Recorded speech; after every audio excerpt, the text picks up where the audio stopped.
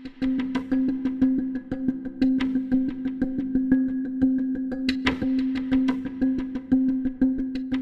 All the viewers of Ishq ka Rang Safed, this news is for you. The show will sadly telecast its last episode on 28th August 2016. The makers of the show are leaving no stone unturned to make the last episode truly impactful and memorable. But here, the good news is that it will definitely end on a happy note, where Viplav and Dhani will finally come together even after all the evil deeds of Kamini to separate them. Not only this, Viplav and Dhani will get back both their children Atharva and Vidha.